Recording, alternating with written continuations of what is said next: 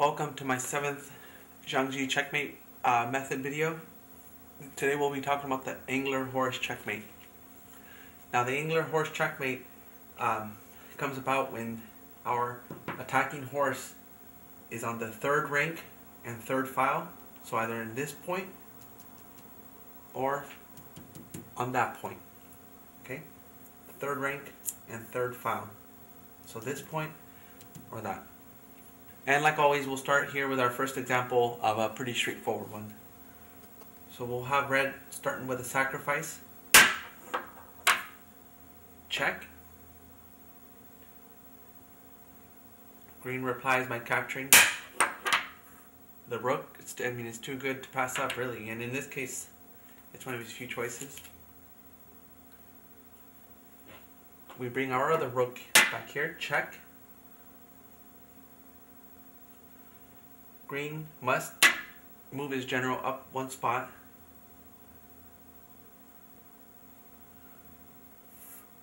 We bring our rook back here. Green retreats. And here's the um, angler horse. Check. You see, third, third rank, third file.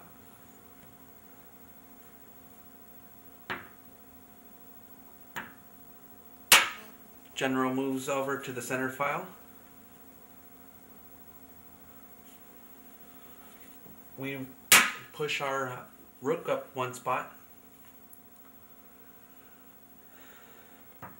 Green must uh, move his rook all the way back here to protect, but really it's just a temporary solution. We capture, checkmate.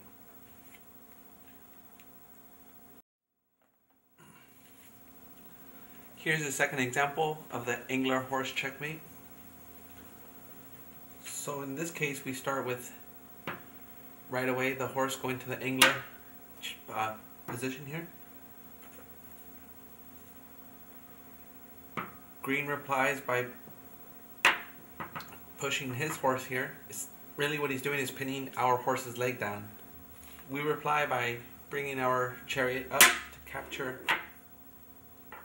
horse. And green replies by immediately capturing our rook. Now we take our rook, our, other, our remaining rook, and capture the green advisor.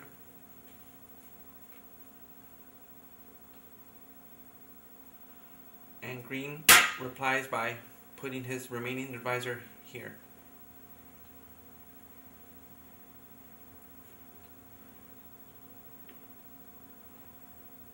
We bring our rook over to this spot for a moment.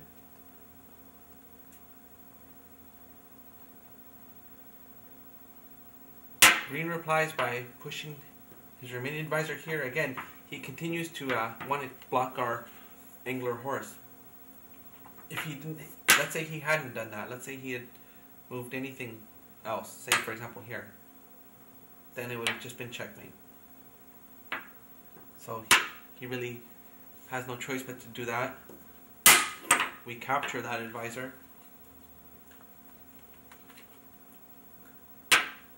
The general moves up one spot, kind of anticipating the end.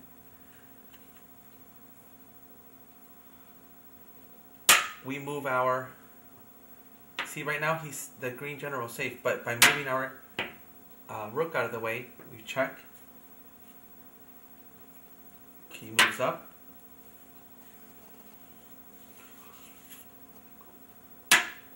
We get into position here, cutting off this line, right? So we're sort of keeping him here. He has no choice but to stay uh, on, on this rank.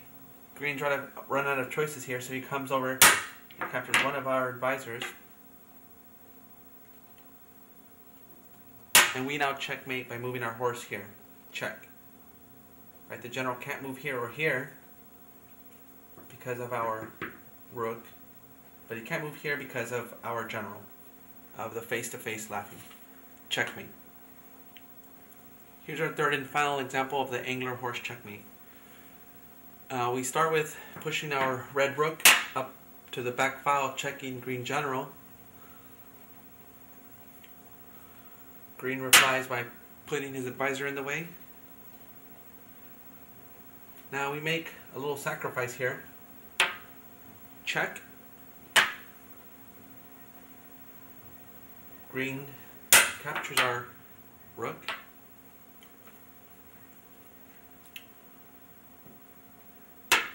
We put our horse here in the angler position.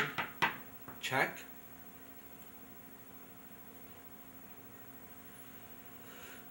And green moves to the center file. If green had in, inappropriately uh, chosen to move this, then we would have had a, uh, a pretty quick checkmate by moving here. So again, green made the right choice by moving to the center file.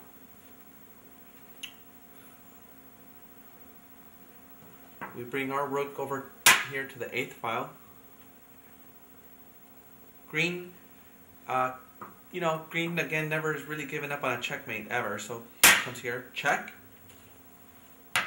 We move our general up a spot. He moves his sol soldier over here to the to their fourth file. Uh, our files begin this way: one, two, three, four, five, six, seven, eight, nine, and the greens is one, two, three, four, five, six, seven, eight, nine. So they move to their fourth file.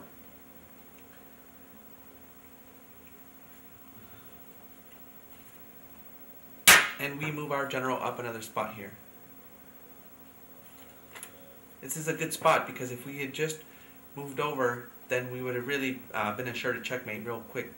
But by moving here, we, right, green can move here to continue checking using our uh, own advisor as a, as a catapult, so we're safe for now.